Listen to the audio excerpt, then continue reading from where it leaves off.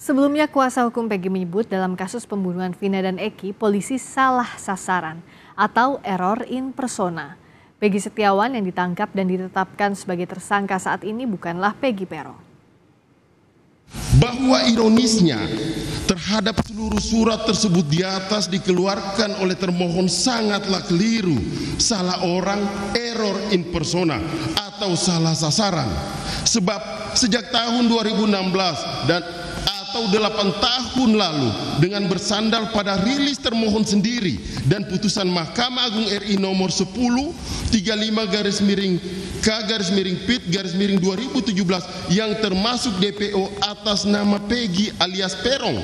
Bukan Peggy Setiawan karena Peggy Perung dan Peggy Setiawan adalah orang yang berbeda baik dari usia alamat maupun ciri-ciri lain dengan pemohon Polisi meyakini Peggy Setiawan adalah Peggy Perong. Dalam sidang pra-peradilan, polisi mengungkap keterangan sejumlah saksi yang menyebut Peggy Setiawan memiliki nama panggilan Perong. Bahwa saksi kenal dengan orang yang bernama saudara Peggy. Karena satu daerah sering lewat rumah saksi dan sering nongkrong di SMP 11 Kesambi. Bahwa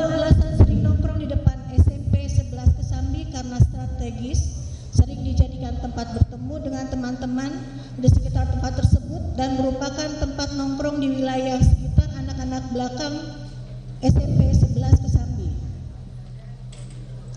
Selain mengetahui saudara Peggy alias Peggy Setiawan, saksi juga mengetahui bahwa saudara Peggy memiliki pang nama panggilan yaitu memiliki nama panggilan lain yaitu Pero.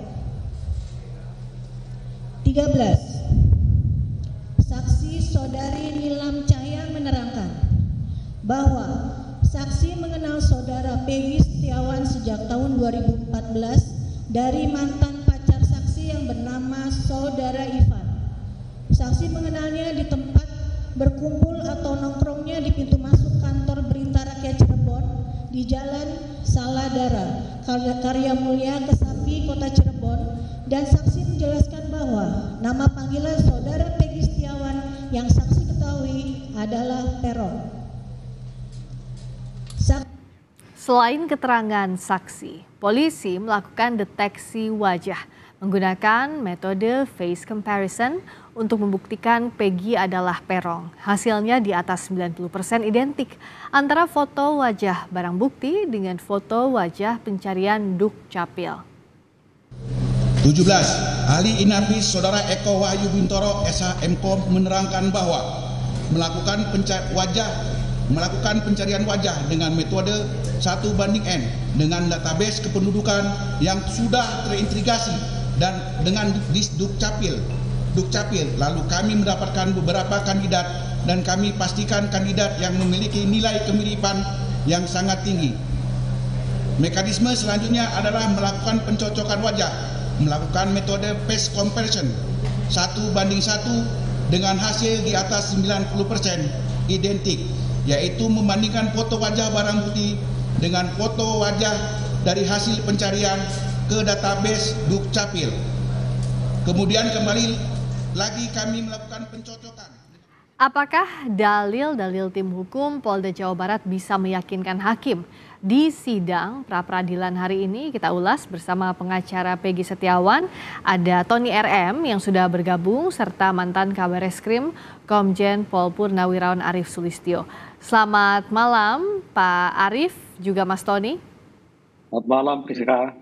Ya, Selamat malam, saya ke Mas Tony dulu. Mas Tony, tadi kalau dari tim hukum Polda Jawa Barat menekankan bahwa tidak ada yang namanya error in persona seperti yang didalil, didalilkan oleh pemohon dikatakan bahwa Peggy alias Perong yang dimaksud adalah Peggy Setiawan.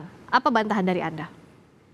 Ya, yang disampaikan dalam jawaban eh, termohon penyidik Polda Jawa Barat bahwa setelah dilakukan uh, pencarian dicocokkan ya itu kan ngambil foto tahun 2016 hmm.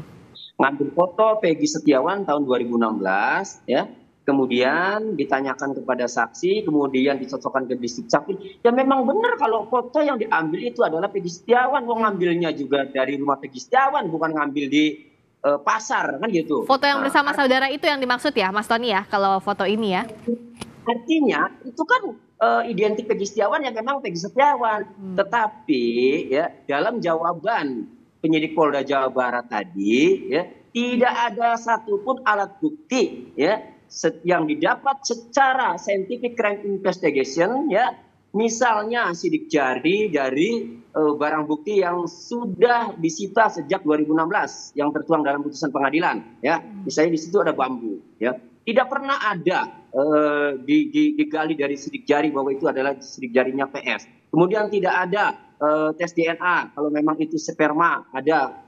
Kemudian PS juga misalnya ikut menyetubuhi. Nah, kemudian tidak ada rekaman CCTV. Jadi PS berada di lokasi ya ini hanya keterangan AF ya di mana hanya keterangan AF dan Sudirman di mana AF hanya melihat jarak dari 100 meter kemudian tidak mampu mengidentifikasi dan AF e, menjelaskan bahwa itu adalah Peggy Setiawan dengan motor smash itu setelah ditangkap dicocok-cocokkan. Kemudian Sudirman ya. Sudirman e, yang me, me, memberikan penjelasan bahwa yang ada di lokasi adalah e, Peggy Setiawan dengan menggunakan sepeda motor e, warna pink, warna ungu, smash hmm. ya tetapi ketika jawaban selanjutnya, ketika ditanya, Sudirman itu masih mengingat-ingat. Hmm. Seingat saya, uh, ya uh, ada tato di tangan.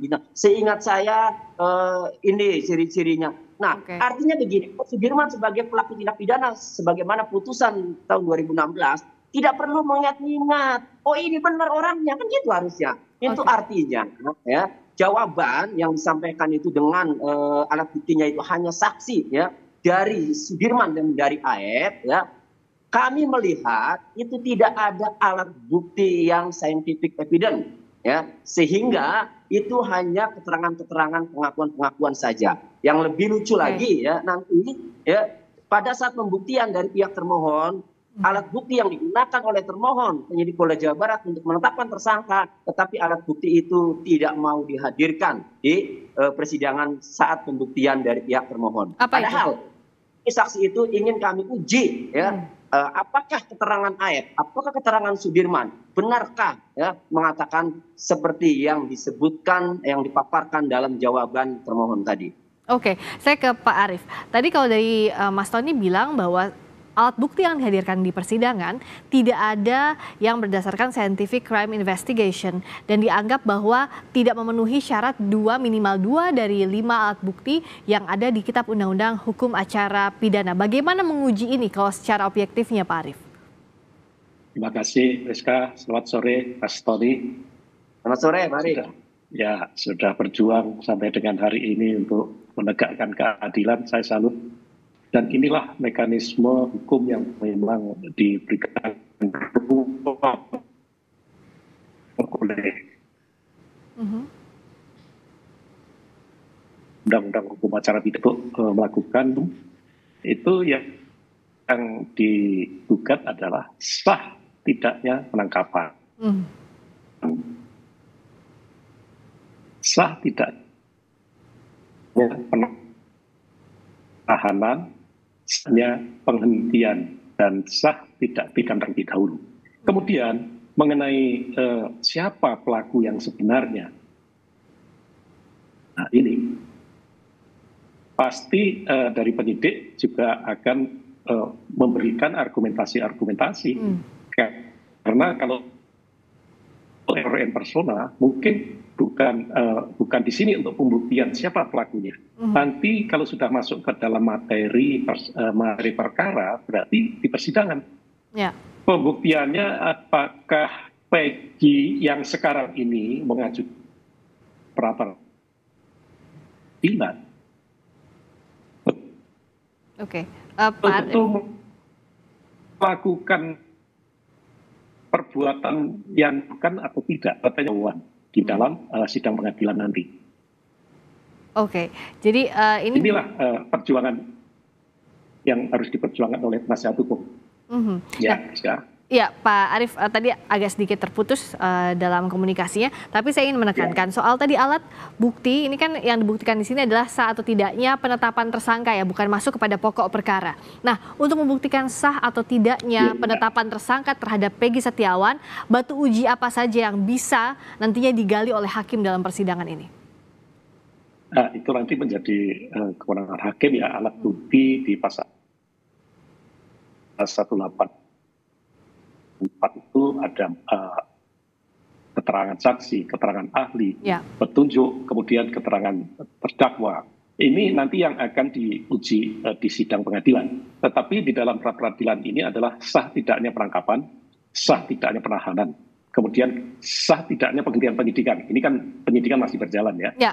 Tapi yang menjadi fokus dari penasihat hukum adalah sah atau tidak uh, per, per, uh, penangkapan yang dilakukan oleh penyidik terhadap Peggy ini. Kemudian sah atau tidak penahanannya. Ya.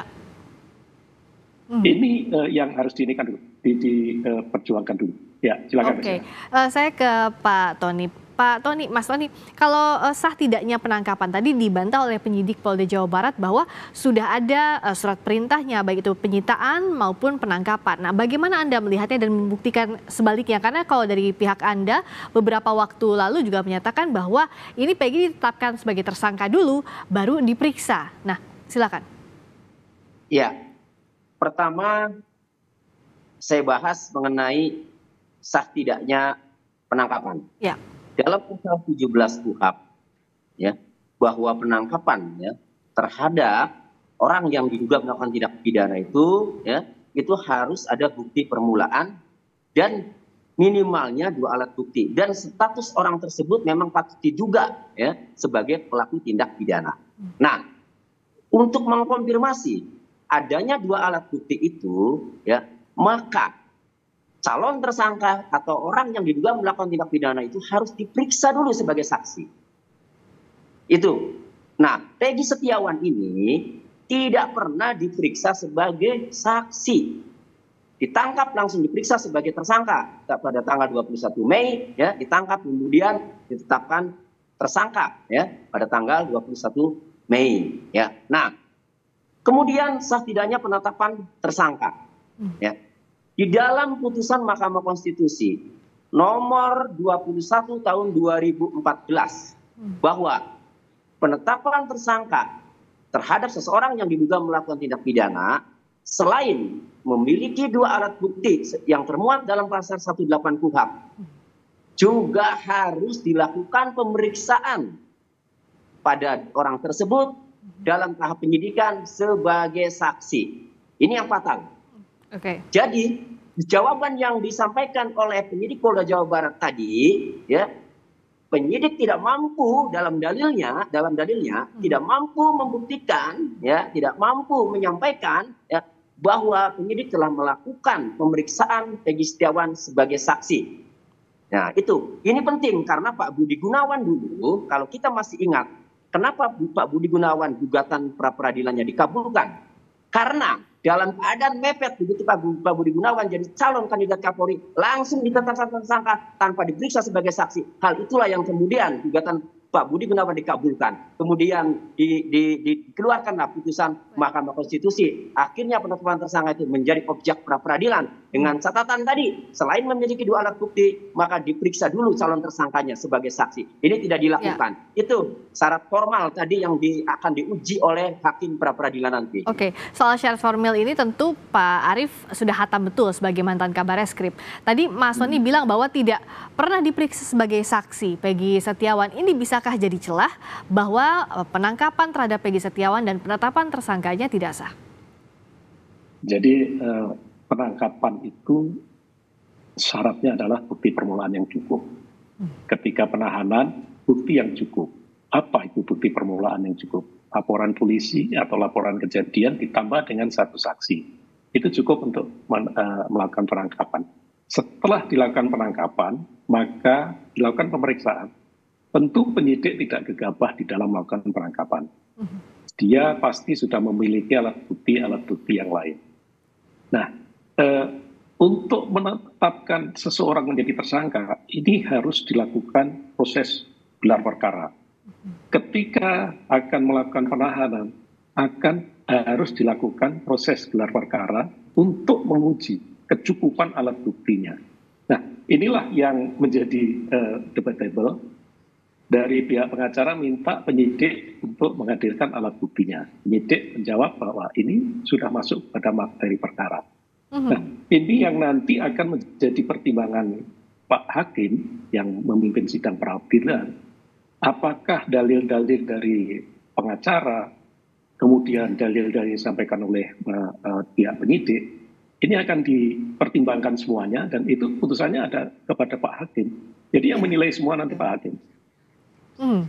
Nah, uh, soal ini bagaimana menguji di persidangan, Mas Tony tadi setelah sidang pra peradilan, pihak Anda menyebut bahwa ada saksi dan juga ahli yang akan dihadirkan di sidang pra peradilan. Nah, bagaimana mendudukan posisi masing-masing saksi dan ahli ini untuk menguatkan dalil permohonan yang Anda sampaikan, Mas Tony?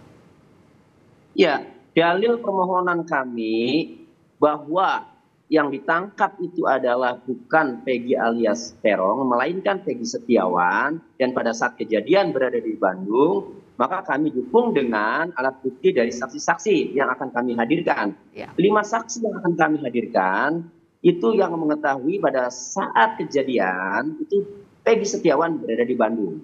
Itu. Nah kemudian ada ahli nanti yang akan memaparkan sesuai dengan keahliannya bagaimana seharusnya penetapan tersangka, bagaimana seharusnya penangkapan, bagaimana seharusnya penyitaan, bagaimana seharusnya DPO, penetapan DPO kan gitu. Karena eh, jangan lupa pe, penyidik Polda Jawa Barat dalam melakukan penangkapan Peggy Setiawan dan kemudian menetapkan tersangka itu dibaca putusan pengadilan dalam dakwaannya juga sampai dibanyak dibacakan sampai panjang. Artinya penangkapan Setiawan, penetapan tersangka Setiawan berawal dari putusan pengadilan dan muncul DPO. Sehingga apakah DPO yang dikeluarkan pada tanggal 15 September 2015 hmm. ya apakah sah atau tidak. Nah, jadi itu nanti akan di, di, di akan dilihat di, di, oleh oleh ahli akan memaparkan penetapan DPO sah atau tidak. Kalau penetapan DPO-nya itu tidak sah, maka berarti orang ini bukan DPO. Meskipun ada putusan pengadilan, tidak serta merta ya kemudian langsung ditangkap uh, penyidik harus mengeluarkan surat keputusan atau surat ketetapan dulu, terutama ketetapan tersangka. Baru kemudian ditindaklanjuti dengan pemanggilan. Kalau tidak, tidak bisa dipanggil, tidak ada keberadaannya dipanggil dua kali, baru ditetapkan DPO. Ini tidak dilakukan. Hmm. Penetapan tersangka tidak pernah dilakukan sejak 2016-2017 sejak putusan sampai dengan rame-rame setelah viral ada film Dina tidak pernah. Ya. Penetapan tersangka dilakukan pada tanggal 21 Mei 2024. Ya, gitu. baik. Uh, terakhir saya ke Pak Arief singkat saja. Tadi kan Mas Tony sudah memaparkan ada saksi ahli yang besok akan dihadirkan, begitu pula dari pihak termohon uh, penyidik Polda Jawa Barat. Nah, uh, dalam sidang pra peradilan menguji uh, hal formil sah atau tidaknya penangkapan serta penetapan tersangka dengan dihadirkannya saksi dan ahli ini bisa jadi uh, jadi bahan untuk hakim mempertimbangkan bahwa uh, status tersangka Peggy ini sah atau tidak begitu ya Pak Arief. Nah, tapi bagaimana mendudukannya secara objektif? Apa yang disampaikan uh, para pemohon maupun termohon? Ya, masing-masing pihak pasti akan mempertahankan uh, apa yang sudah dilakukan dan apa yang menjadi gugatannya. Mau mendatangkan saksi ahli, mau datangkan uh, alat bukti dan itulah upaya yang dilakukan oleh uh, penasihat hukum dari pihak PG. Begitu juga dari Polda Jawa Barat. Semua nanti akan diperhitungkan atau dipertimbangkan oleh hakim. Sehingga kita uh, tinggal menunggu aja apa keputusannya Pak Hakim. Yakinlah bahwa ya. Pak Hakim akan memutuskan dengan adil. Ya, dan uh, seperti ada gium yang uh, sudah kita kenal daripada apa lebih baik untuk melepaskan seribu orang bersalah daripada menahan satu orang yang tidak bersalah itu ya Pak Arief ini yang akan iya, diuji itu, di sidang. Itu moral itu. Ya, dan ini yang harus dipegang uh, karena keadilan harus ditegakkan dan Mas Tony juga ditunggu besok saksi serta ahli yang dihadirkan di persidangan pra peradilan Peggy Setiawan. Terima kasih atas waktunya Mas Tony RM, pengacara Peggy Setiawan. Terima kasih Komjen Pol Purnawirawan Arif Sulistianto, mantan Kabar Eskrim Polri. Terima kasih, selamat malam. Terima kasih.